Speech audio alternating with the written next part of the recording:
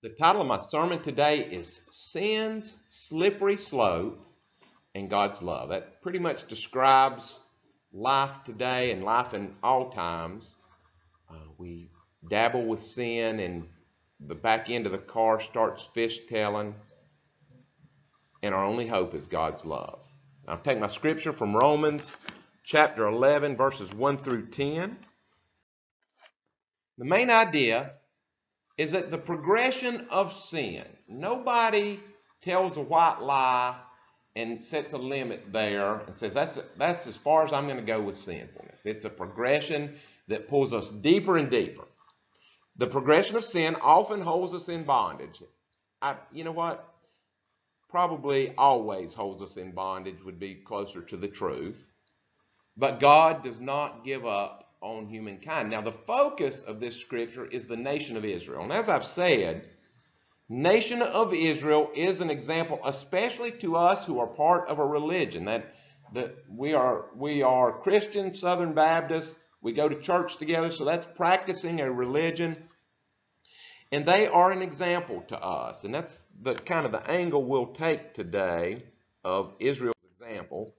But before we do, I want you to think a minute about the universe. How big it is. And it's spinning. All of it is spinning. It's spinning together and it's spinning apart. It's getting bigger. As best we can tell in our limited view of things, it is 20 billion light years across. That's a light year is how far light will travel in a year. You know, light travels so fast that if I shot a beam of light, if I could do it and shoot it and it would go around the whole planet Earth and come back by my ear, it would go around seven times a second. That's how fast it travels. And a light year is how far it travels going that speed in a year.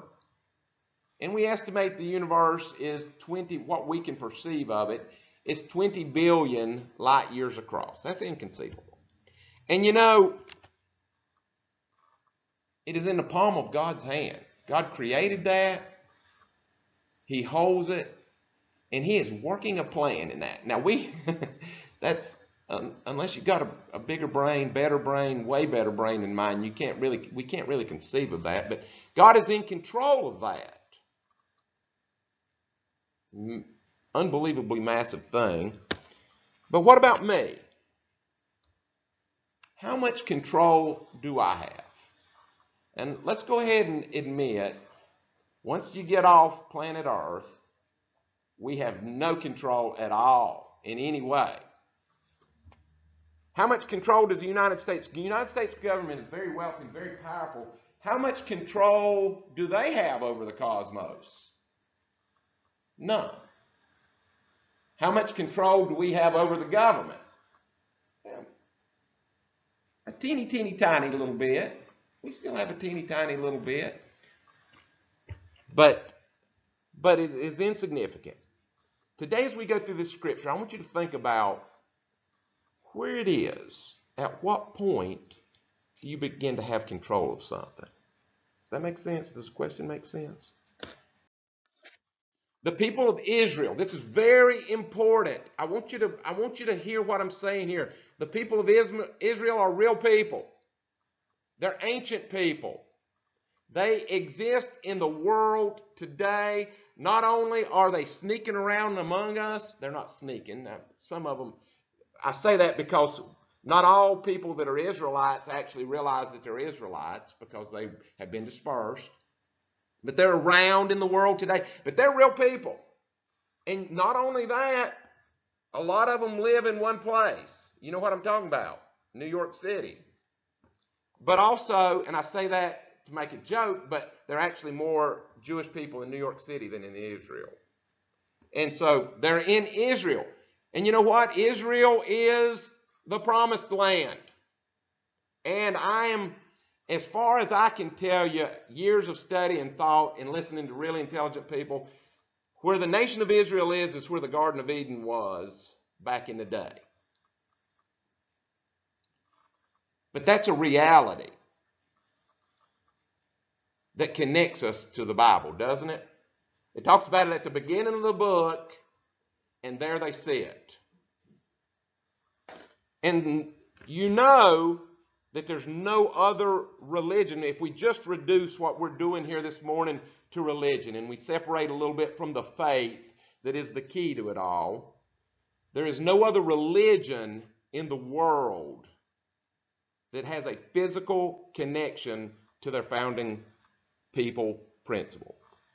Uh, not people. They do have connection to people, but they don't have a remnant of the ancient people that is still there. I don't know how, how, how clear that was. They connect humanity to the biblical period. That's the point that I'm getting at. We have a physical connection to the biblical period. And as we look at this scripture in Romans, and I always want to keep in focus, Paul's meaning is to talk about the Israelites and how they have rejected the Messiah and what the consequences of that is. But they are also a mirror to us, as I've said in previous weeks, to look at ourselves and to look at God. So God's dealing with Israel, just a review in chapter 9. We talked about the past dealing, the Old Testament dealing with Israel, that they were elected as a special people with a special mission. They were to become holy. They were to worship God and become holy because a man is going to be born among them that's going to fix things, going to fix a sin problem, and they needed to be a holy people for that reason. The, in chapter 10, we look at God's present dealings with Israel, the fact old that the Old Testament religion rolled into the cross, that the, the Old Testament was always on a trajectory taking it to the cross. The Messiah was going to come and he was going to die on the cross. But Israel rejected that. When, it, when the paycheck came, they worked all week, and when the paycheck came, they said, I'm not interested in the paycheck. By and large. And so today we're going to look at three examples from Israel's faith journey that we can learn something about ourselves in that. So the first one is that though they have rejected the Messiah, God is not done with Israel.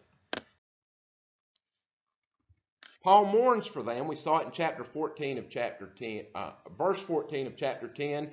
How then shall the Israelites call on Jesus in whom they have not believed? They didn't believe he was the Messiah. And I will say, in my own spiritual experience, I've, you've heard parts of my testimony almost on a weekly basis for the last four years. God does not let anyone go easily. If I can testify to nothing else, I will say that if a human was deciding on my salvation, they would have cut me loose because of my things that I've done. But God gives me second chance and third chance and so forth. Okay? There is no example in the Bible, not one, not one. If you find one, I'll throw my Bible away, where a person turns to God in repentance and God rejects them. It doesn't happen. And that's what turned me, you know that too. I read the Old Testament, not a single repentant person was rejected, ever. God is a God, don't matter what you've done this week, you repent today, and He'll receive you back and begin working with you. God's personality is revealed in this next scripture. Verse 21 But to Israel he says, and this is quoting the Old Testament, all day long I've stretched out my hands to a disobedient and contrary people. Come home, he says. Come back. So Israel's rejection is not total. We go to chapter 11, verse 1. Paul says, I say then, has God cast away his people Israel? Certainly not. And this in, in the Greek, this is uh, uh, me genoito. This is a, a very strongly worded. Certainly not. By no means. May it never be so. Absolutely not. Paul says, for example, I'm an Israelite, the seed of Abraham and the tribe of Benjamin, and and I was walking away from God and using Judaism as my excuse, and he came to me on the Damascus road and he called me back. He stretched out his arm to me. This is a testimony. And this is a man that loves the Jewish nation. And he says, I was going the wrong way, and God took hold of my heart, and he turned me around. And you can do the same. Doesn't matter what you've done this week. Turn around today. God, in other words, Paul was saying, they have God has treated Israel like me, and I say the same thing. When I rejected God in my lifetime, and I'm talking literally when I rejected God in favor of things that I, subjective things that I built in my brain, and I favored my brain, my feelings over God who created me. When I rejected Him, He did not reject me. And the Bible says He didn't reject you either. There's nobody that can hear this that is finally rejected. So, though they reject the Messiah, God is not done with you. The second example that Israel gives us, though we might feel alone in our faith, we are never alone. We are never alone. Romans 11, 2 and 3, God has not cast away his people whom he foreknew. Or do you not know what the scriptures say about Elijah? How he pleads with God against Israel saying, Lord, they have killed your prophets, they've torn down your altars, and I alone am left, and they seek to kill me. Elijah in his time stood all alone for God. Israel said, Well, you know, this Yahweh is a little bit outdated. The pagans around us, the Baal worshippers, and Baal just means Lord in Canaanite, they called their God Lord, like the Israelites did. And they said, so that's not that odd. That's not that different. This other group is not that different than us, but they're more modern. They have better technology. They play better music. Whatever, however you want, whatever analogy you want to make, we like what they do. And so we're just going to embrace their gods. We still love Yahweh, maybe, sort of, in words. But we're going to go along with the crowd, and Elijah was left alone. And though he had defeated, you know the story where they where they caught he called down fire on his sacrifice, and the the and God rejected the Baal sacrifice, and he publicly, very publicly defeated the prophets of Baal. Still, Elijah felt despair because he's human. He felt all alone. Do you ever feel alone in your Christian walk? And the answer is yes. And in part, unfortunately, that's a spiritual problem. Not, not totally, but it, part of it. We always need spiritual growth. As I've said, you can't tread water in your faith. You either swim forward or you go down. Jesus needs to be our portion. We need to have as a goal to get to the place where Jesus is enough. If we are the only Christian on the earth, me, Jesus is enough. That's our goal. Unfortunately, we're human. We're not probably not going to be able to get there totally. But look what it says in John 14, verses 16 to 18. These are the words of Jesus. This is a promise of Jesus, your Savior, who died for you. He said, I will pray to the Father, and he will give you another helper when I'm gone. Another place he says, it'll be better for you to have the Holy Spirit than it is to have me physically here. Because when I'm physically here, you focus on my bag of bones, my body, the way my breath smells, whatever, human things. And when the Holy Spirit is there, you can focus on spiritual things. And kind of the problem is focusing on human things all the time. He says it'll be better. He says this helper um, he will give you another helper that he may abide with you forever. There's not going to be a time that the Holy Spirit will not be available to a Christian. Though you ignore him, he is waiting patiently there beside you. The Spirit of truth, whom the world cannot receive.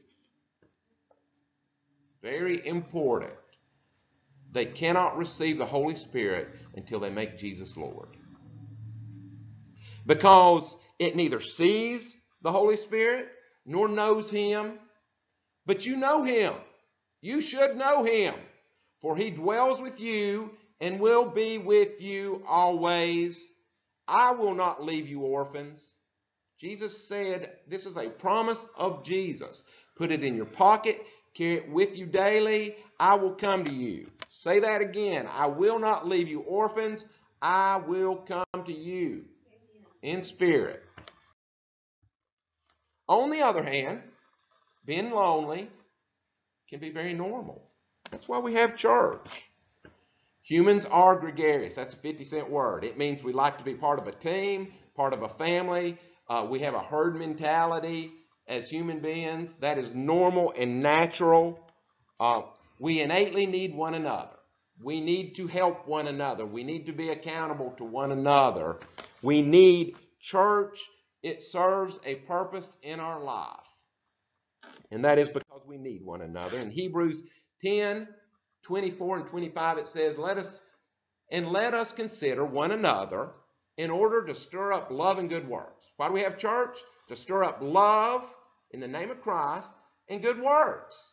We're not saved by those good works, but they're important. We represent Jesus' love, we represent one another, not forsaking the assembling of ourselves together. That is, stop not stopping coming to church, as is the manner of some, but in exhorting one another.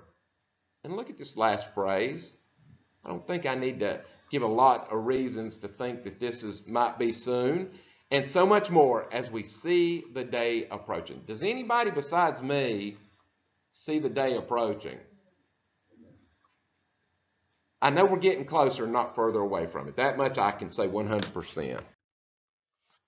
So humans are gregarious. Also, I believe us being together in our faith is part of the image of God. Part of the image of God in Genesis 1:26, God said, "Let us make man in our image." So there is a plurality in the image of God. It says male and female he created them. I think the base need that all humans have is is for a spouse uh, to to be with and to complement with. Uh, but this is part of our design. Our need for one another reflects the image of God. So even when we reject God, he does not reject us and we need we are never alone.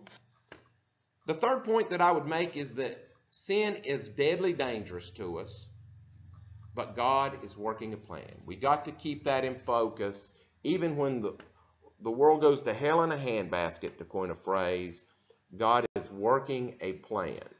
And we want to be a part of that plan, not the chaos. Romans 11, 4 and 5. What, but what does the divine response say to him? I have reserved for myself, he said this in the Old Testament, myself 7,000 men who have not bowed a, the knee to Baal. This is to Elijah. Even so, at this present time, the time of Paul, there is a remnant according to the election of grace. That is, Christian Jews. Now, we may think there, there, there may, it may feel like there's a very small number of Christian Jews, but if when you consider there are only about 15 million Jews in the world, and there are about almost 8 billion people, there is most likely at least as big, if not a greater percentage of Jews that are Christians than the general population. And so God is preserving a remnant who have accepted the Messiah. The, the, God's work among the Jews has not disappeared, but we're talking by and large when we say that the Israelites have rejected, by and large. For us to survive and thrive in our Christian walk, we must balance our personal feelings. Is God making us feel better? And our personal needs. Is God providing me what I need with God's greater plan? We have to have a balance between those two things. If God only meets our needs, we are self centered. And if that's our only concern, we are concerned about ourselves and not about God's work. We have to balance those two. The remnant of the Christian Messianic Jews accept Jesus in the same way that Gentiles do, And in the same way, if they reject, they are in trouble, just like Gentiles. Verse 6 says, If salvation is by grace, then it is no longer by the works of religion, by being good, following our religion. Otherwise, grace is no longer grace. Grace is an undeserved gift. But if it is of works, it is no longer by grace. You can't have both. Christianity is the world religion that, that at least doctrinally says salvation only comes by grace. All the rest say work. And this scripture says it's one or the other, can't be both. Okay? And so I would say again to you, if you if you're straddling the fence, either either Christianity is the only way to God or it's no way at all. But it's not both. Otherwise, work is no longer work. So salvation is not by works or religion. It's what's in your heart. It is by grace, which is an undeserved gift. It's given by God. So God is not surprised by the world today, right? God is in control. And though it is very surprising to me as I look around the world, very odd to me, I don't know what to think about anything hardly. Now, if you got several hours, I'll give you my opinion. But I don't really know anything. I, am bamboozled by all this. But God is not. Verses 7 and 8. What then? Israel has obtained what it Israel has not obtained what it seeks, but the elect have obtained it. That remnant has obtained salvation, and the rest were blinded. It was made as plain as the nose on their face, and they did not see it. Just as it was written, is God surprised that they rejected it? God has given them a spirit of stupor, eyes that they should not see, and ears that they should not hear to this very day. Now, we could preach on this for a long time, and I, I did have a bunch of slides on this, and I decided that we'll, we'll, we'll seek a summary here this week. Verse 9 goes on to say, And David says, Let their table, this is religion, become a snare, the great Passover feast, and a trap, and a stumbling block to them, and a recompense to them. So as hard as they try through their feast and their religion, they're, it's just gonna, they're gonna trip over it. It's only faith. Remember, Israel had been told very clearly in the Old Testament God is sending a Messiah. It has always been about faith, never about religion, never about what you do. The Messiah will take the punishments for sin. And God foretold that Israel would reject the Messiah when he came. None of this is surprising. Should not surprise anybody. Taken all together, the scripture emphasizes that God is just. He's given clear and repeated warnings and consequences. It says in, in Romans 1, no one, should, no one is ignorant. Everyone is responsible. Uh, it also, the Bible tells us that man is willful with a self-serving intentionality to disobey. And once they have disobeyed God, then they rationalize, bend it. They bend what they did to their favor. What we do, we bend what we do to our favor. And make God the one guilty. And from similar passages, we see that God does not change human minds, but he hardens their resolve to do what they want to do. In other words, let me just summarize all that. We can, if you want to come again, if you have several hours and want to open this can of worms with me, we'll, we will, we, I will exhaust you with what I think. How about that? I promise. In other words, putting all this together, God knows the truth about you, and He loves you anyway. That's it. Sum it up. He knows what you're going to do. He knows what you've done. He loves you anyway. Enough to become and let you spit on Him and go to the cross for you. What happens when one rejects the Messiah and chooses religion? You should know this by now.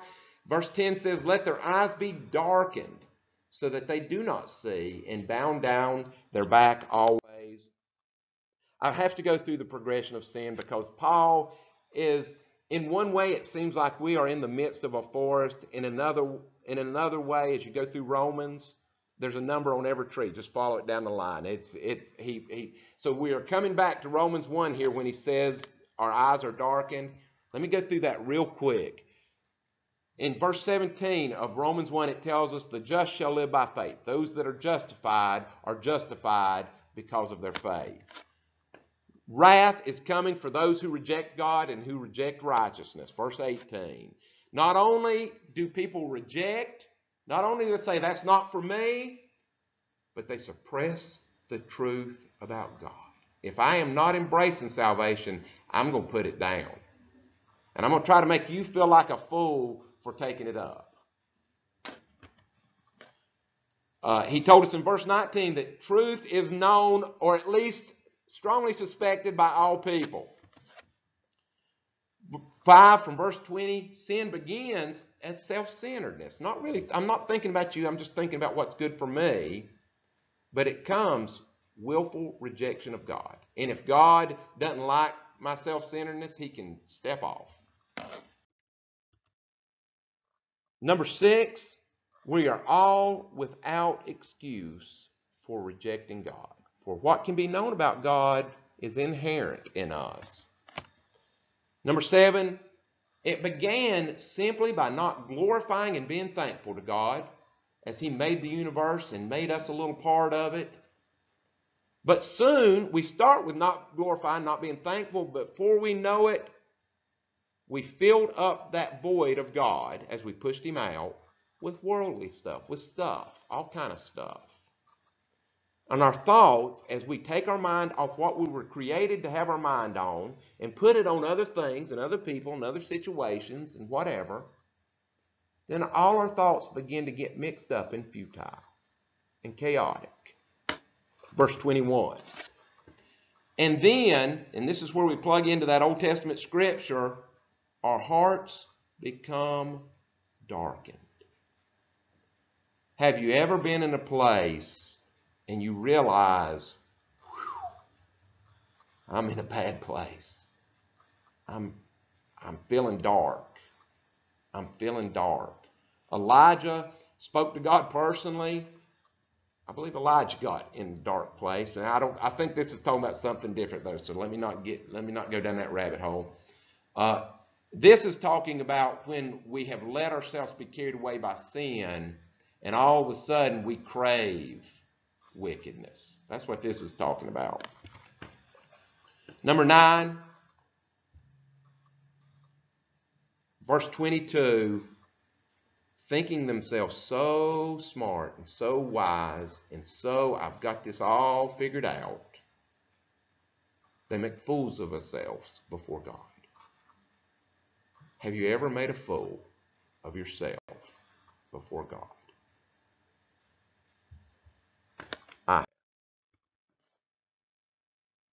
Verse 23 tells us rather than worshiping God, they worship what they can achieve for themselves. What they can make with their own hands. What they can conceive of. Number 11, verse 24 says, God eventually, and this is pitiful place to be. This is a terrible, terrible place to be. Eventually, God gives them up to uncleanliness and lust. I believe this is when you stop feeling guilty about whatever it is you're doing. When you sneak down into the, the basement of your heart and go in that little dark room that nobody but you knows about. When you don't, at this point, you don't feel bad about it anymore. And then number 12, verse 25, Romans 1:25, evil becomes good in their mind.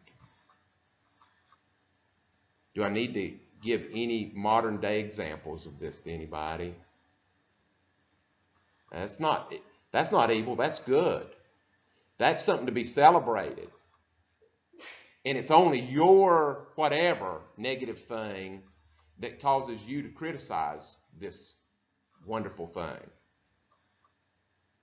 If you don't, I have nothing else to say. Go back and read Romans 1 and think about your world today. The, slippery slope of sin is deadly, deadly dangerous. and it is dangerous to us all. James put it this way James, the brother of Jesus, in James 1 14 and 15, look at this progression. But each one of us starts out just tempted. Hmm, that is that makes me curious. You know, at first sin, I've heard people talk about that. That's curious to me. Then we are drawn away. We know what's right. We know what our responsibilities are. But that curiosity is pulling us away from our responsibilities. I could give all kind of examples of this. I know what I'm supposed to do. I'm curious about that.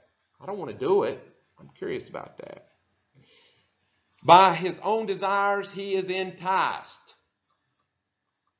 That's an elevation of that temptation. Maybe, one time trying this. Then, when desire has conceived and you act on your desire, it gives birth to sin in your life, and sin begins to grow and grow. And not only, eventually, very quickly, it's not what you do, it becomes who you are. You were in the image of God, and now you're in the image of your lust. And what does that bring to us? Spiritual death. We have completely hijacked the life that God gave us, loaned to us, and we're driving it to destruction. So, Israel is, gives us examples to look at ourselves, as I said. And these are the truths. We reject Jesus daily, but good news, he pursues us still. All of us. We might feel alone, but we are not. If you are all alone, that's a loneliness inside of you, not spiritually outside of you. The Holy Spirit is there.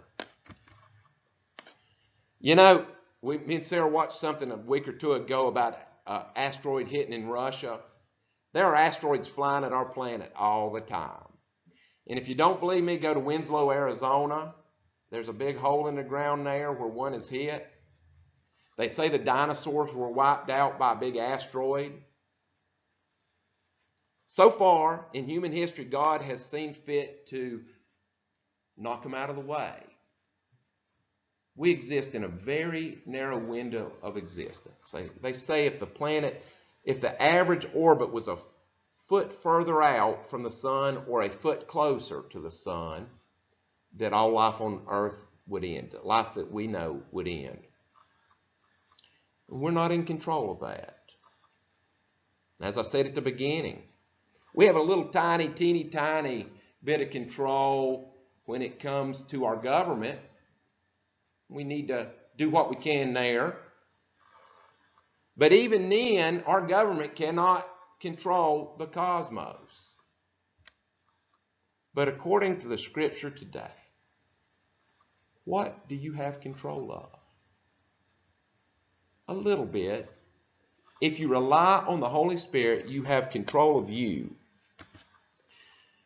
And the Bible tells us to fear sin, to flee from it, but to remember that God's desire, with the help of the Holy Spirit, is to work a plan inside of you. And there is where you have a small measure of control. And so as we pray, pray for God to show you, hold the mirror up to you, and show you where you need to be putting some intentionality and some effort uh, to be a part of His plan in this world today. Let us pray. Lord, we thank you for your word. We thank you that salvation is available to all people. Lord, we thank you that no matter how hard we sin, that you call us back. Lord, I pray that we all return to you today. In Jesus' name, amen.